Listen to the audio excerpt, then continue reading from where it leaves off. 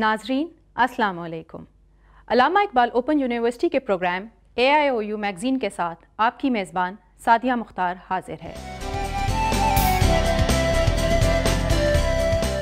अज़ीज़ तलबा, student corner के हवाले से हम आपको बताते चलें कि सोमवार 7 मई 2007 से मुल्क भर और मशरक़ वस्ती के ममालिक में सेमेस्टर ख़ज़ां 2006 में पेश किए गए मेट्रिक से लेके एम फिल और पीएचडी सतह के तालीमी प्रोग्रामों के फ़ाइनल इम्तहान शुरू हो रहे हैं।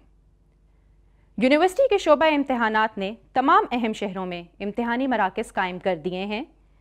इम्तहान में शिरकत के अहल तमाम उम्मीदवारों को डाक के ज़रिए रोल नंबर स्लिप और डेट शीट भी अरसाल कर दी गई हैं। अगर अभी तक आपको रोल नंबर स्लिप और डेट शीट नहीं मिली तो इस्लामाबाद के सेक्टर एच एट में वाक़ यूनिवर्सिटी के शोबा इम्तहान के सुप्रिटेंडेंट शब्बीर अहमद ख्वाजा से ज़ाती तौर पर या phone number nine two five zero triple one dash two nine के extension number four three one nine पर रबता कर सकते हैं। इस सिलसिले में हम आपकी मुलाकात यूनिवर्सिटी के कंट्रोलर इम्तहान हफीज़ुल्ला साहब से कराते हैं। तो आइए सुनते हैं कि वो क्या कहते हैं। अलामा इकबाल, ओपन यूनिवर्सिटी के ख़िज़ान सेमेस्टर 2006 के इम्तहान सात मई 2007 से शुरू हो रहे हैं। ये इम्तहान 27 जून 2007 तक जारी रहेंगे। इन इम्तहान में पीटीसी, सीटी, बीएड, मैट्रिक से पीएचडी तक के प्रोग्राम शामिल हैं। यूनिवर्सिटी ने पूरे पाकिस्तान में 470 सेंटर बनाए हैं। तलबा व तलबात को रोल नंबर स्लिप उनके दिए गए पतों पर भिजवाई जा चुकी हैं।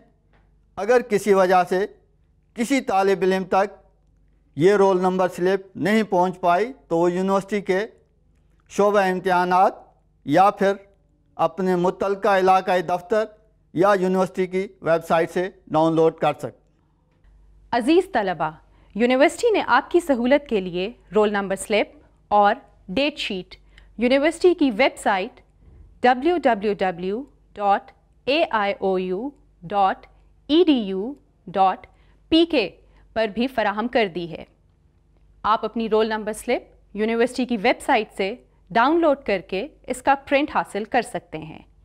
और वेबसाइट से हासिल की गई रोल नंबर स्लिप और अपने कौमी शनाख्ती कार्ड अपने साथ ले जाकर इम्तहानी मरकज़ में बर वक्त पहुँच कर फ़ाइनल इम्तहान में शिरकत कर सकते हैं। नाजरीन गुज्त माह अलामा इकबाल ओपन यूनिवर्सिटी में ख़वातीन के आलमी दिन के मौके पर यूनिवर्सिटी और अकवा मुतहदा के इश्तराक अमल से एक मुजाकरा मुनद हुआ। मुजाकरे में professor doctor Mahmood Hasan Bhatt, Farhana stalker, doctor I N Hasan, Suleman Asif, doctor हल्फ बल्ले, doctor Hamid Masood, barrister Shahida Jameel, secretary वजारत तरक्की नस्वा मोहम्मद सलीम ने शिरकत की, जबकि मुजाकरे की मेज़बानी के फ़रज़ नामवर सहाफ़ी तलत हुसैन ने अंजाम दिए one uh, document suggested that uh, out of all the uh, prosecutions that were done, the rate of conviction was globally mere 5%, which is appallingly low. And if you were to come back to Pakistan and look at the Human Rights Commission Pakistan report 2006, that will tell you very clearly and meticulously compiled data is in support of that contention that violence against women has escalated, which is a paradoxical situation despite the fact that there is a media revolution of sorts in this country and there is greater awareness, greater, uh, greater focus and also legislation is being done to protect women against violence. Still, the incidence of violence is increasing. So, in this gathering, what I hope to do is to invite my panelists to debate uh, what are the causes of violence against women.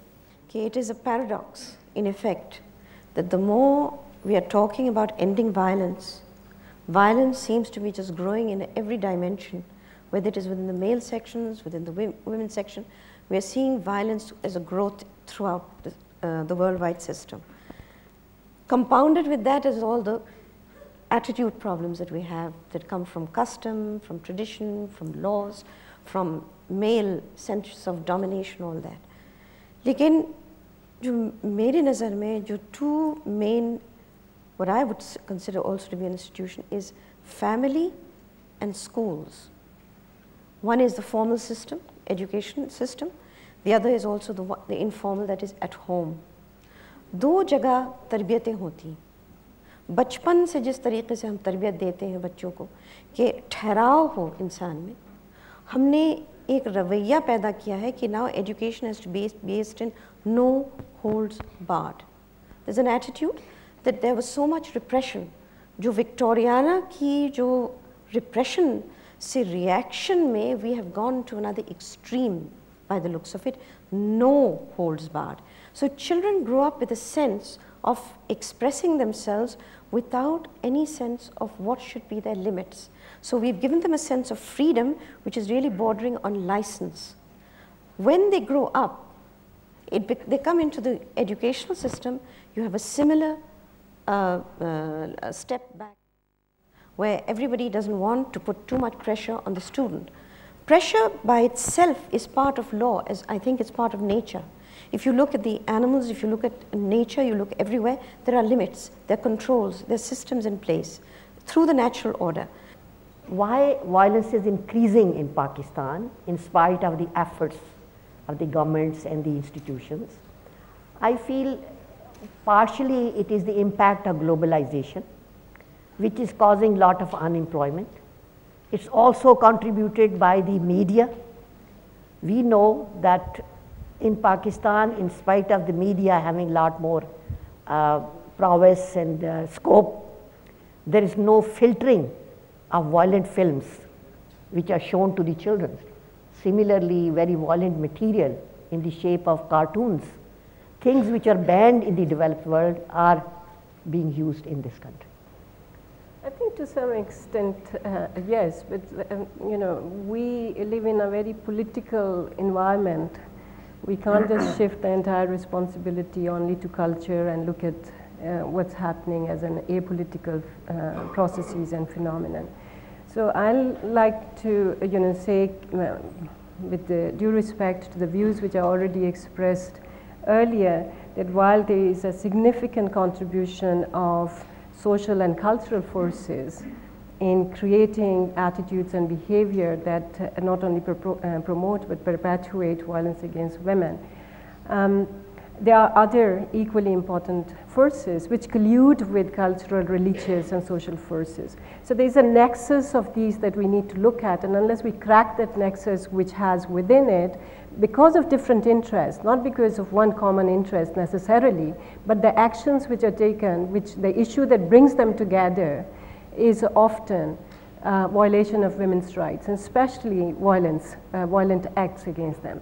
और जो nexus है इन forces का उसके अंदर definitely state institutions भी आते हैं the question why is there violence more so these days than perhaps in the past हमने बात की रवैये की रवैया और रिवायात, इनका बड़ा क्लोज इंटरेक्शन है। हर कल्चर में, हमारे इस्लामिक कल्चर में भी कुछ बड़ी अच्छी बातें हैं और कुछ कॉन्ट्रडिक्टरी चीज़ें भी होती हैं। कोशिश हमारी यही होती है कि या हम नेगेटिव को देखें या पॉजिटिव को देखें और दोनों के दरमियान जो ताल्लुक़ है, उसको इग्नोर कर देते हैं। आज जो हम अपने माशरे में चीज़ें देख रहे हैं उसमें सबसे बड़ी बात तो यही है कि वायलेंस जो है, वो सिर्फ़ औरतों के ख़िलाफ़ नहीं है। Violence has emerge as a general category जिसके अंदर हमने अपने राइट्स को तो अहमियत दे दी, दूसरे के राइट्स को हमने समझा कि इसको इम्प्यूनिटी के साथ वायलेट किया जा सकता है। अगर इसको, इस रवैये को रिवायत बना लिया जाए तो ज़िंदगी फिर एक जंगल बन जाएगी।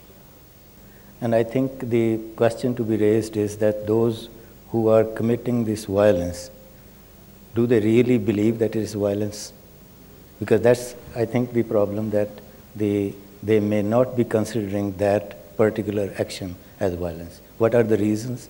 One of the reasons is that for thousands of years, we are still living in a patriarchal system. And that system is threatened when these vulnerable, I mean, by women and, uh, and children, when they are given equal rights. I, I think this is, a, this is a basic problem. And second problem is that it's in the modern era that state and different institutions are claiming to protect these rights. As, as has been said already, that since these institutions have not been able to deliver, so it's a kind of privatization of law enforcement that is taking place. It's not only in this area, but in other areas. The people start playing the role of state, or playing the role of police, or playing the role of law enforcement. And I think that's the basic question that needs to be addressed. I think, first of all, I would start by saying that the issue of uh, a violence against women, uh, or violence as such in the society, uh, should not be somehow uh, explained as only as part, as, as, part of our cultural problems. That the, if you say that because of the feudal system, because of the uh, but now a patriarchal system, because of this, we will not be able to uh, uh, you know, envision the solutions for the problem. We'll only try to, to justify it as a, as, a, as, a, as, a, as a thing that we probably we cannot easily get rid of, of it. So I, I don't want to look it from that perspective. I also don't want to look it from a, an external intrusion of our rights as a, as a country, as a, a society, and it's coming from this you know, globalization issues, and therefore, again, we have no power to intervene.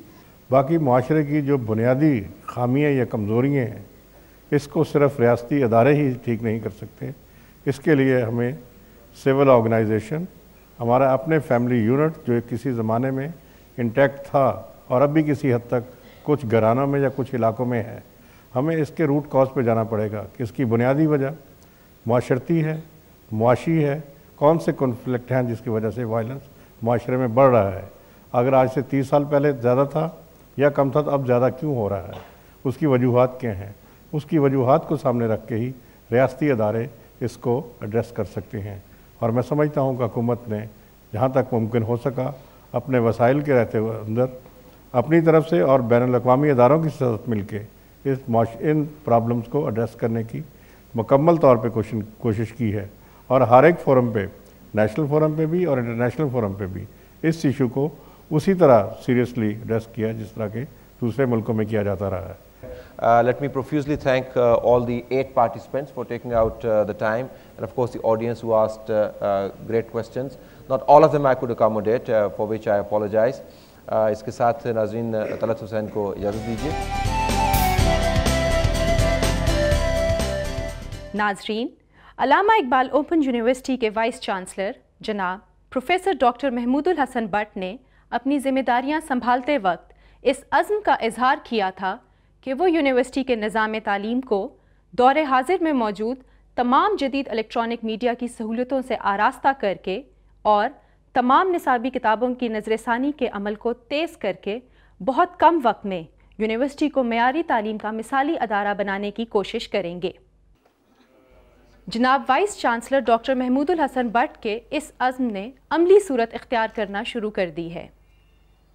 12 April 2007 Allama Iqbal open university की तारीख में एक संग मील साबित हुआ। इस रोज़ university और आलमी सतह के कंप्यूटर साज इदारे इंटेल के दरमियान मुफाहमत की एक यादाश्त पर दस्तखत की तकरीब मुनद हुई। मुफाहमत की इस यादाश्त के मुताबिक आलमी शहरत याफ्ता कंप्यूटर साज फर्म इंटेल बतदरीज यूनिवर्सिटी के तलबा और तालिबात को लैपटॉप तर्ज के स्टूडेंट्स कंप्यूटर फराहम करेगी। इस मौके पर इंटेल के नुमाइंदे ने कंप्यूटर के मुतालिक एक प्रेजेंटेशन दी।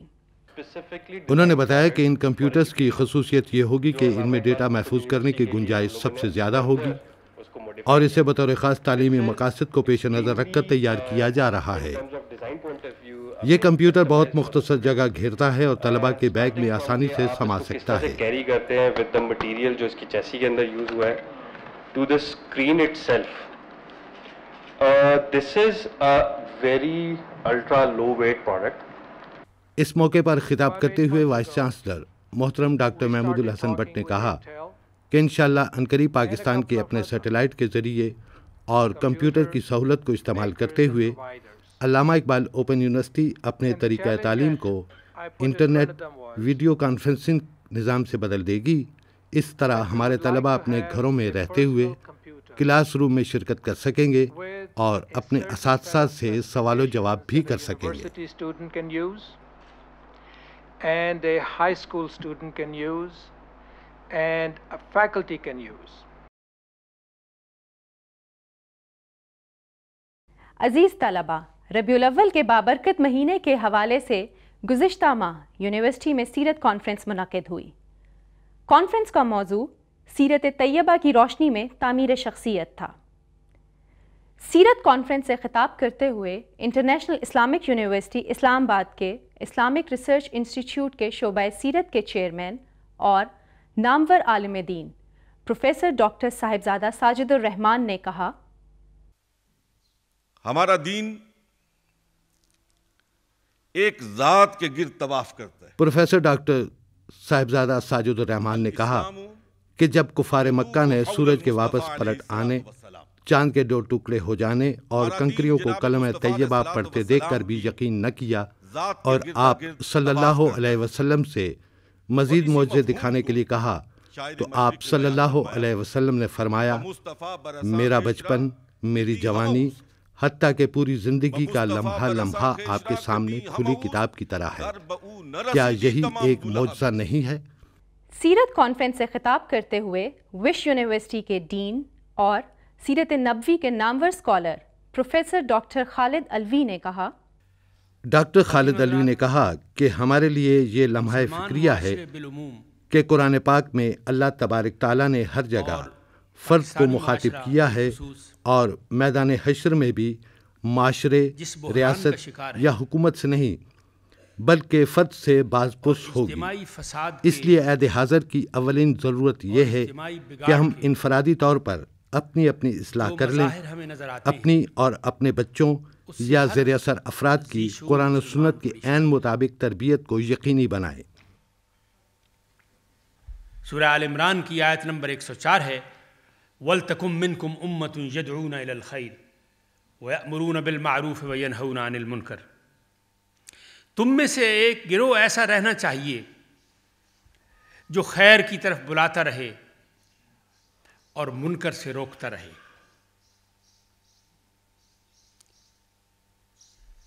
ये गिरोह अगर मुआशरे से मिट जाए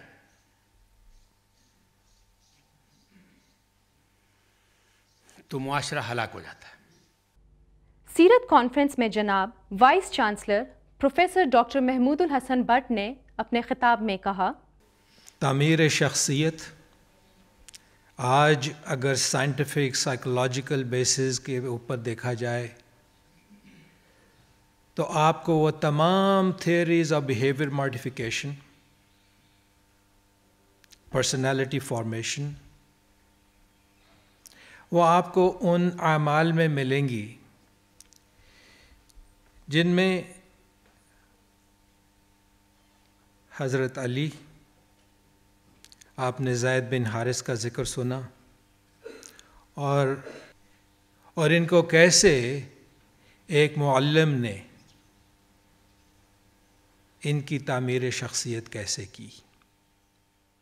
उन्होंने मज़ीद कहा कि हुजूर पुरनूर सल्लल्लाहु अलैहि वसल्लम ने खुतब हजतुलविदा में तीन बुनियादी बातें कि हर मुसलमान पर उसके भाई का खून माल और इज़्ज़त हराम कर दी गई है।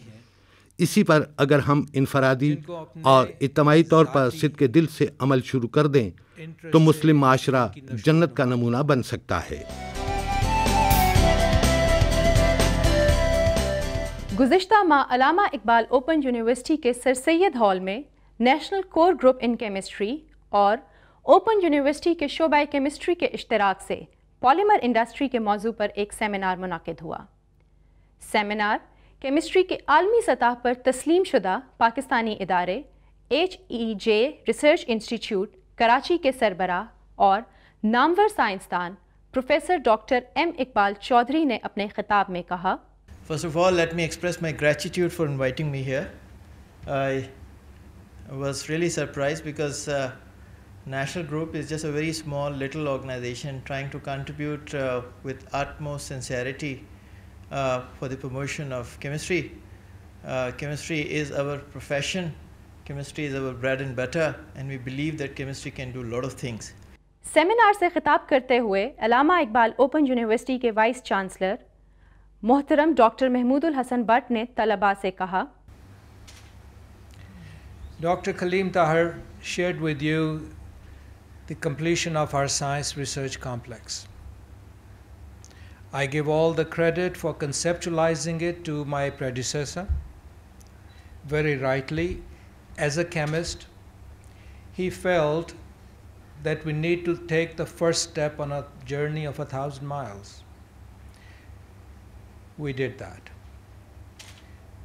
The shell of that building that I found when I came here, I'm happy to report that that has been completed into a very presentable facility. But it still needs a lot of work to do. Seminar से dean faculty of science professor doctor Mohammad Kaleem Tahir ने भी खिताब किया Dear Vice Chancellor, as universities are linked with HEC, or HEC is the guardian of all universities, HEJ is guardian of all the chemistry departments of the universities. हाल ही में Allama Iqbal open university के शोबा उर्दू ने अपने एम ए उर्दू के तलबा के लिए वर्कशॉप का अहतमाम किया। इस वर्कशॉप के कोऑर्डिनेटर शोबा उर्दू के उस्ताद डॉक्टर अब्दुल अज़ीज़ साहिर थे। वही फुरकान वही यासीन वही Taha. Doctor Nisar Ahmed Qureshi dean faculty of social sciences ने अपने खिताब में तलबा को वर्कशॉप की अहमियत और अफादियत से आगाह किया। तदरीसी निज़ाम का एक लाजमी हिस्सा है। आप इससे पहले भी चंद वर्कशॉपों में शिरकत कर चुके हैं। आज की ये वर्कशॉप शोभा उर्दू के तीन कोर्सेज 1504, 1505 और 1506 यानी असालीब नसर उर्दू मीर गालिब का खसूसी मताला और अल्लामा इकबाल का खसूसी मताला पर मुश्तमिल है। Vice chancellor professor doctor Mahmoodul Hasan Bhatt ने भी तलबा से खिताब किया। उन्होंने कहा, इस नई स्कीम ऑफ़ स्टडीज़ में ये फैसला किया गया कि हम इसकी बुनियाद जो है, पहली जमात से बारहवीं जमात तक उर्दू ज़बान में रखेंगे। रीजन्स में मीडियम ऑफ़ इंस्ट्रक्शन के तौर पे मुख्तलिफ़ रीजन्स अपनी अपनी ज़बान भी इस्तेमाल करना चाहें तो कर लें। लेकिन उर्दू की अहमियत को हमें उजागर करना है और इसको एक लिंगवा फ्रैंका बनाना है। वो लैंग्वेज जिसके ज़रिए हम कम्युनिकेट कर सकें नॉर्थ और साउथ से ईस्ट और वेस्ट से, मुल्क के नॉर्दर्न मोस्ट एरिया से लेके साहिल समंदर तक। इसके साथ ही प्रोग्राम का वक्त ख़त्म हुआ चाहता है। अपनी आरा से हमें मुस्तफ़ फरमाने के लिए हमारा पता नोट कर लें। Programme A magazine, Institute of Educational Technology, Alama Iqbal Open University, H eight Islamabad अपना बहुत ज़्यादा ख्याल रखिएगा हमें इजाज़त दें अल्लाह हाफिज़